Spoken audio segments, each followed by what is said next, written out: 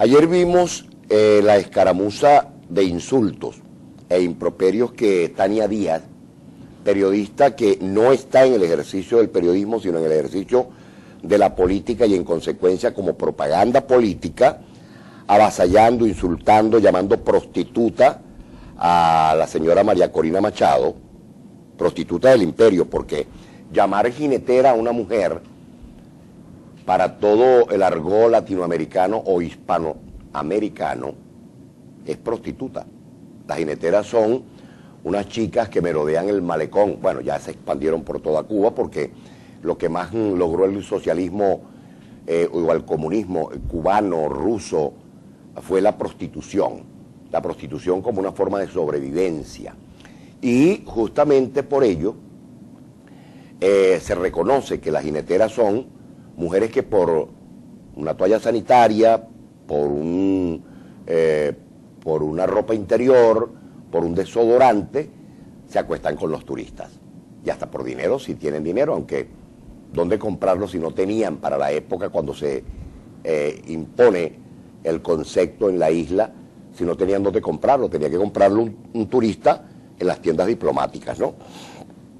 Otra de las cosas que llamó la atención y que yo admiro con, con denuedo es esa, ese sentido de la paz que evidencia Diosdado Cabello. Sí, eh, eh, él es prácticamente el arcángel Gabriel, ¿no? Él eh, inspira paz. Me hace sentir como que si estuviese hablando con el Papa Francisco o con Juan Pablo II. Sí, una cosa así, una, una ternura, un amor. Ayer nuevamente la Asamblea Nacional con descalificaciones, que habla además de la mediocridad que tenemos en la dirigencia sentada en la Asamblea Nacional. Yo dije la Asamblea, no una parte de la Asamblea, porque falta contundencia y exigencia del respeto que debe existir para con quienes detentan el escaño o la curul de esa Asamblea Nacional. Lastimosamente no es así. Eh, llama la atención, ¿no?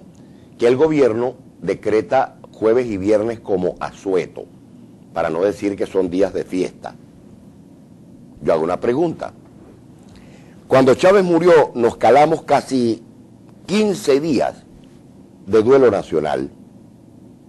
Un muerto, un muerto que antes de morir dejó muchos muertos en el camino, ¿ok? No solo con la intentona golpista, sino con otras como las del 11 de abril, y otro tipo de represiones que la historia sabrá juzgar a su debido momento. Y a él le dedican 15 días de duelo. ¿Cuál es el duelo que hemos guardado por los muertos que ha tenido la represión oficial? ¿O cuál es el duelo que hemos guardado por la ingente cantidad de víctimas que ha tenido la delincuencia no controlada del país?